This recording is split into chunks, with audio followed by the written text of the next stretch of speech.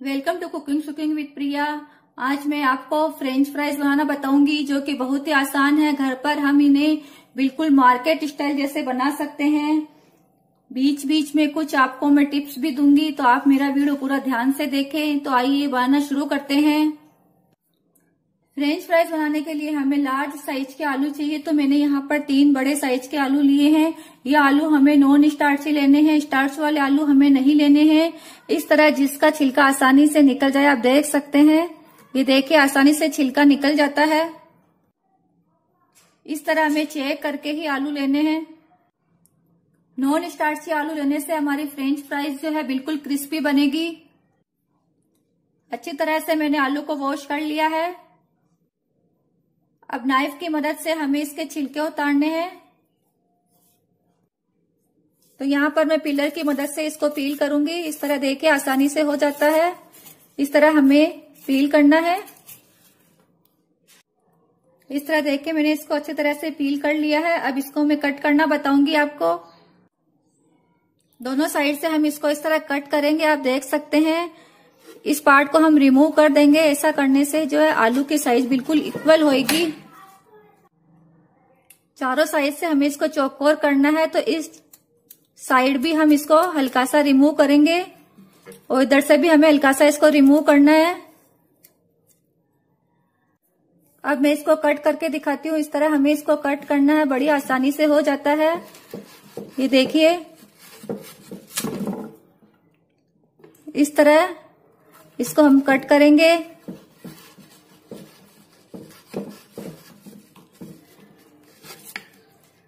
ये देखिए। कट करने का ये तरीका बहुत ही आसान है। अब इसको हम इस तरह लंबा लंबा कट करेंगे। ये देखिए, इस तरह हमें इक्वल साइज़ में करना है।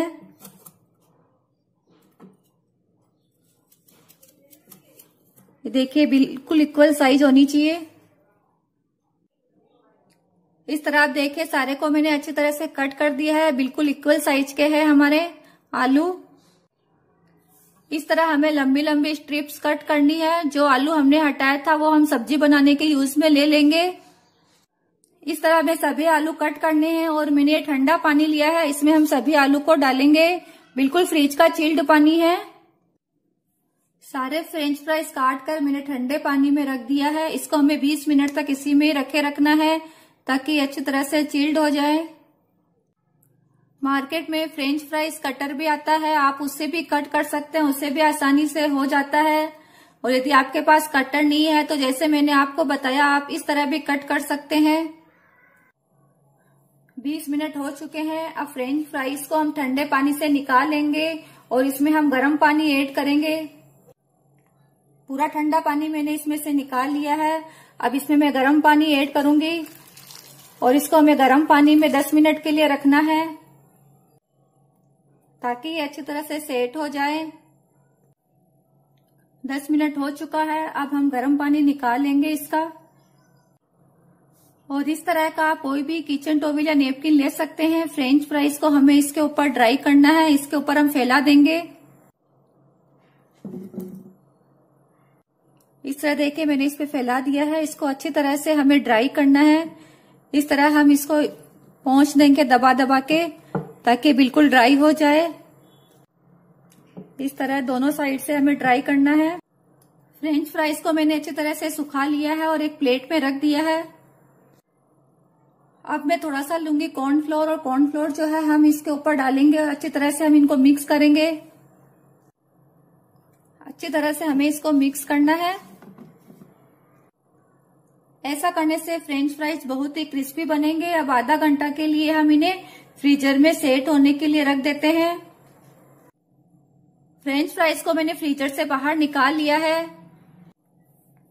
आप देख सकते हैं, ये अच्छी तरह से सेट हो गए हैं। अब इनको हमें फ्राई करना है। अब एक पैन पे हम तेल ऐड करेंगे और उसको हल्का गरम करेंगे। ज़्यादा तेज गरम नहीं करना है। तेल हल्का गरम हो गया है। अब हम फ्रेंच फ्राइज को फ्राई करेंगे और थोड़े थोड़े करके हम इसमें ऐड करेंगे।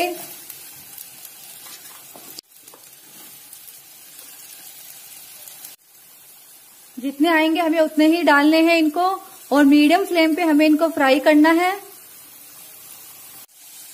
बीच बीच में एक दो बार हमें इनको फुल फ्लेम पे भी चलाना है। बिल्कुल गोल्डन ब्राउन होने तक हमें इनको पकाना है। हाँ देखिए फ्रेंच फ्राइज बनकर हमारे तैयार हो गए हैं।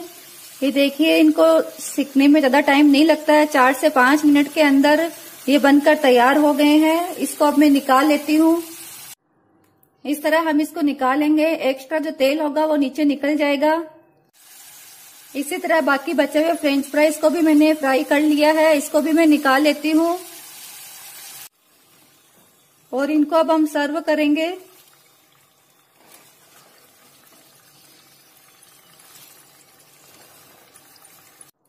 पोटेटो फ्रेंच फ्राइज बनकर तैयार हो गया है। अब इस पे मैं नमक और काली मिर्च लगाऊँगी। आप चाहे तो पेरी पेरी भी लगा सकते हैं।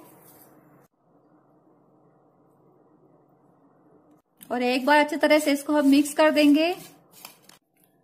फ्रेंच फ्राइज बनकर तैयार हो गए हैं। खाने में बहुत ही टेस्टी लगते हैं। आप सॉस के साथ इन्हें सर्व कीजिए।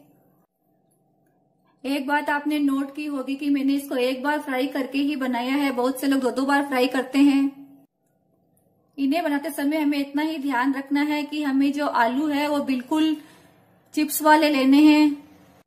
बिल्कुल हमें नॉन स्टार्ची आलू चाहिए इसको बनाने के लिए।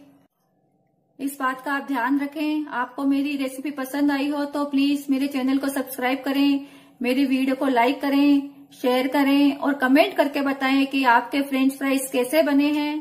Thank you for watching my video